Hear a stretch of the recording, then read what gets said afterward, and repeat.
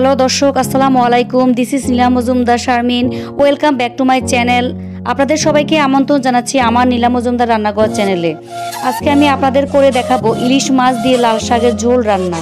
এই রান্নাটি একদম সহজ তারপরে অনেকে লাল শাকটা ঝোল ঝোল করে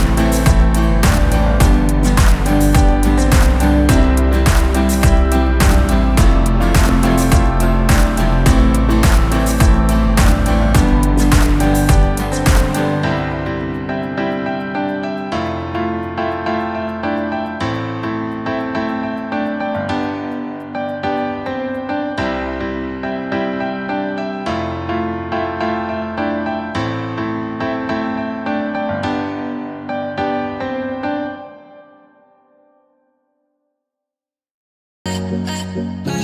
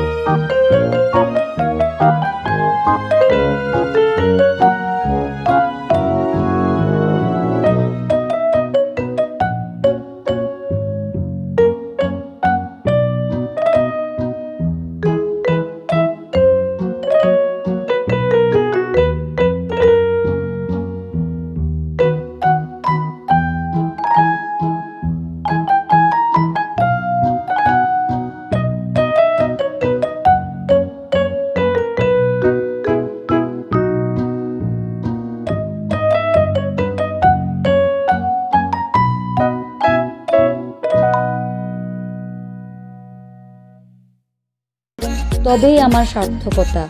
আশা করি আমার এই রেসিপিটি সহজ লেগেছে। ভালো লাগলে লাইক কমেন্ট এবং সাবস্ক্রাইব করতে ভুলবেন না। খুব শীঘ্রই হাজির হয়ে যাব নতুন আরেকটি ভিডিও নিয়ে। ভালো থাকবেন, সুস্থ থাকবেন এবং আমার জন্য দোয়া করবেন। কিপ ওয়াস নীলা মজুমদার রান্নাঘর।